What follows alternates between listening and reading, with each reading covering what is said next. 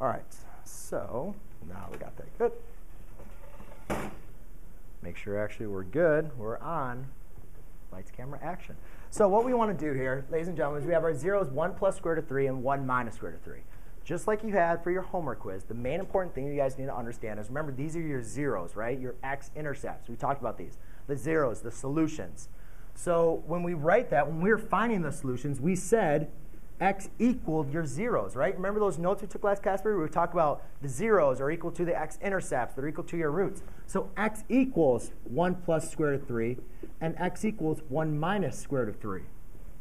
So then what we did from before we got to here, we set them all equal to 0. To solve, to solve x equals this, we had them set equal to 0, right?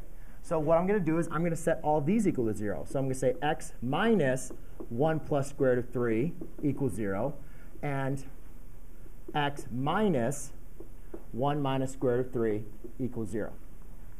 Does everybody follow me so far? If not, you can raise your hand. It's totally cool.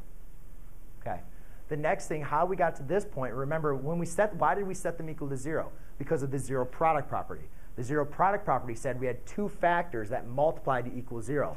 So what I had is I had this times this equals 0. So that's exactly what I'm going to write.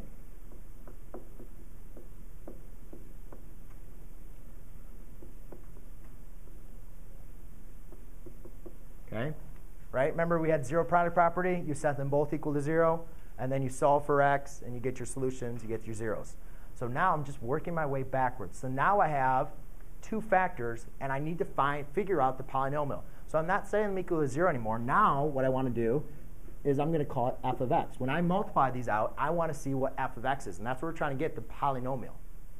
So here's where it gets a little confusing. This looks pretty confusing. It's not as easy as your typical FOIL, right? First, outer, inner, last. This is like your last term is a binomial. So this can get pretty confusing. If you're going to try to do the first, right, then the outer, inner, last, try to do FOIL with this, you could get a little confused. However, if you're very, um, if you're very detailed, you can get through it. It's not bad. But I'll show you a little trick. One thing we can do is use the associative property. And what I'm going to do is I'm going to rewrite my parentheses to include, instead of the last two terms as a binomial, I'm going to write the first two terms as a binomial. And the reason why I wanted to do that is because when the first two terms, when I write them as a binomial, are exactly the same. And now the last two terms, that's supposed to be minus. The last two terms are exactly the same, and but I have a difference of signs. Does anybody remember when you have the first two terms the same, the last two terms the same, and a difference of signs, what we call that? Anybody? Difference of squares, right? Because these two are going to multiply to give me a square number. x plus 1, so x minus 1 times x minus 1 squared, and then square root of 3 times negative square root of 3 is a negative 3. I couldn't multiply the middle terms, ladies and gentlemen, and you have to. If you want to follow the rules of FOIL, do it. But what you'll notice is the middle terms cancel out, all right? So I'm just applying the rules of difference of two squares.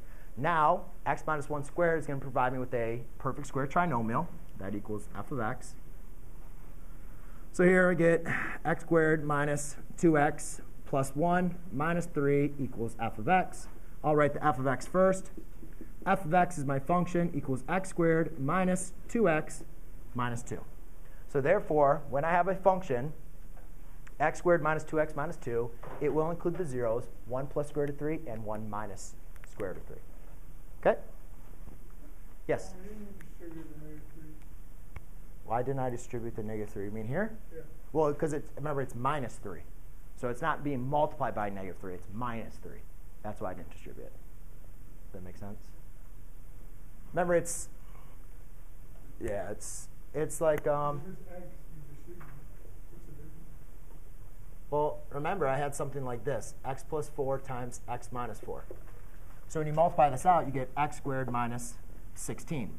You don't distribute like the negative 16. It's x squared minus 16. The only difference was, I'm getting tangled around. The only difference is now I have, it's just a binomial that's being multiplied. Instead of x squared, it's x minus 1 squared my spirit. Does that kind of see it? I know it's a little bit, this is, looks a lot more different than that, but it's the same kind of process. Cool? Yes? So, um, since the, it? Radicals, since they're opposite, they equal negative 3?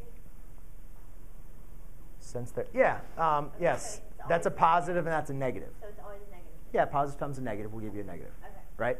And then square root of 3 times square root of 3 gives you 3. Uh, 60? 61. 61. see what I can do. But anybody questions on this?